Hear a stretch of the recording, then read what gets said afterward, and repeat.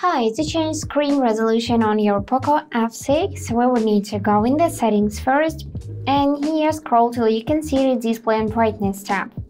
So firstly go in the refresh rate and the first thing you will see is default which is recommended but if you want to make your videos more smooth then go in the custom and select 120 Hz like that and after that go back and select this AI image engine, go in super resolution and enable to enhance videos so that one upscale the resolution of videos.